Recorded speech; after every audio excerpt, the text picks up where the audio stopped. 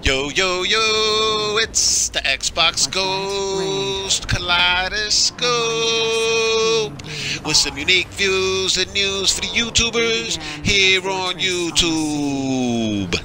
Now, guess what, ladies and gentlemen? There's been some major things popping off lately, and one of those things is actually a list that's been making the rounds.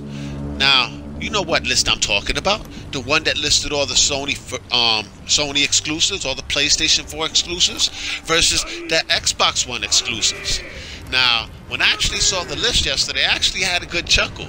I mean, I literally laughed my fucking head off, yo, because of what was on this list. First of all, they had a visual novel on the list, which is basically a comic book. And then they had a whole bunch of these Japanese exclusive games that everybody knows really don't sell. I mean, most of these games don't make it past 500,000, and maybe one or two of them might actually hit 700,000. All right? And I actually looked into some of those games, and I would never put any of those games on my gaming list. But I understand why it's on there. All right? And then also, what also made me laugh even harder was Sony's first party exclusives. All right? By their first party studios. And the majority of those games won't be hitting until 2018. So what my takeaway from that list is, you know, basically Sony's first party camp is seriously lacking this year when it comes to first party output. They're getting completely owned by Microsoft, all right, which is a trip. And if we look at the last six months, all right, from September to now, which is February, Microsoft has put out Recore, Forza Horizon 3, Gears of War 4, Dead Rising 4, and soon about to drop Halo Wars 2. While Sony has put out The Last Guardian, Gravity Rush, which just recently dropped, and Horizon Zero Dawn, which is about to drop.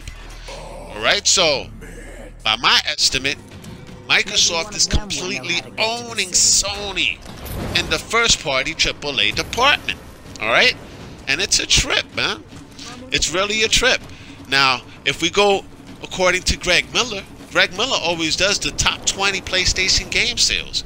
Want to know what games didn't make the list? All right, these are the games that didn't make the list.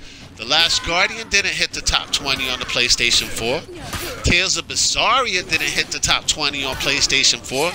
Gravity Rush 2 didn't make the top 20 on great PlayStation 4. And even Yakuza 0 didn't make the top 20 on the PlayStation 4. Alright? Why? Because nobody is actually buying these Japanese games that all these ponies are touting.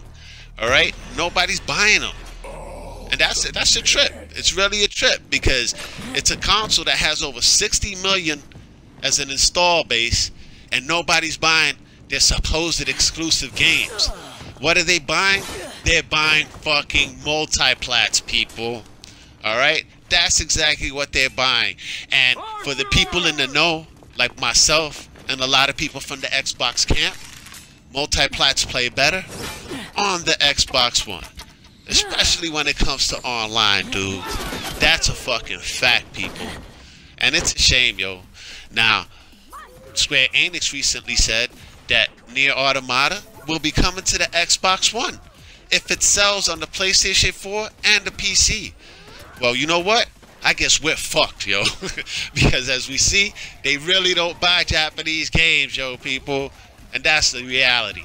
Either way, that's my $2 worth. For everybody else, y'all can comment, rate, share, subscribe. I'm all for it.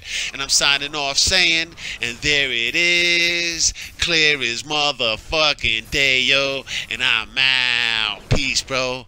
And guess what, peoples? Ultimates is back and they're completely free of charge. Word up.